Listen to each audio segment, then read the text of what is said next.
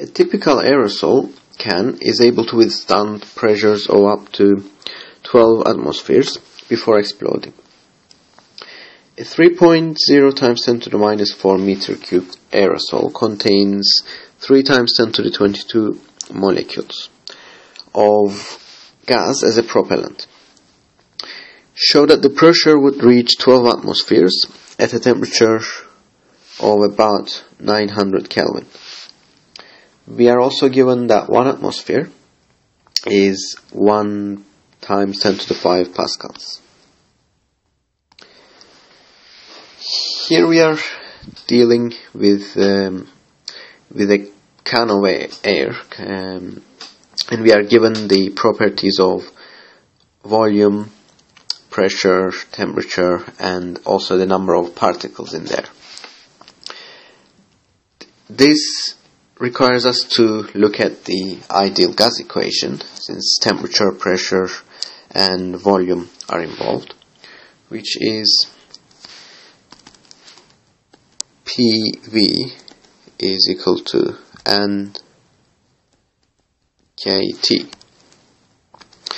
Here P is the pressure, V is the volume, T is the temperature, and N is the number of particles,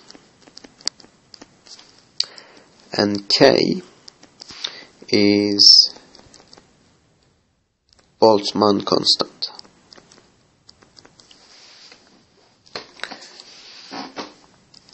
So what we need to do is plug these numbers that we have in to this equation and show that the temperature value comes around 900. So we can make temperature the subject as the first step and say that if we divide both sides by nk we'll have PV over nk and then the pressure is given as 12 atmospheres. But we need to convert that to pascals because that's the base unit of pascals uh, of pressure.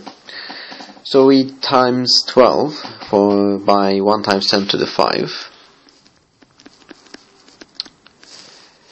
And then we need the volume which is 3 times 10 to the minus 4